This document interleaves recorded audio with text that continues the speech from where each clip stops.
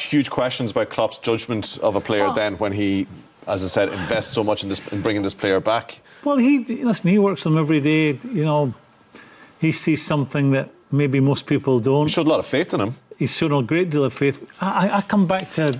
I'd like to say to, to Klopp, if ever I got the opportunity, you know, in big away games, why why do you why do you have to feel you have to win it so early on?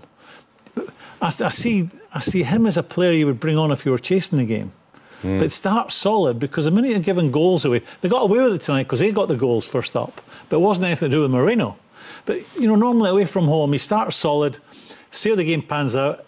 If you go behind, then you get more adventurous players onto the pitch. But he starts with the most adventurous team he can put on the pitch in big games away from home.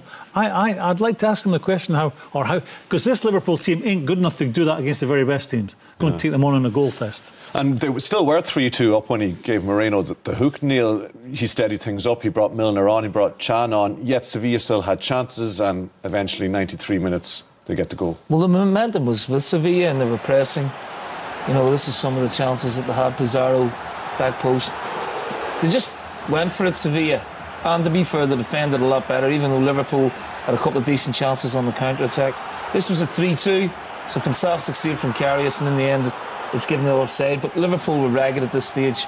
You know, with the two goals back in the game, there's only one in it. This is so unlucky. Vázquez made a huge difference coming on for Sevilla.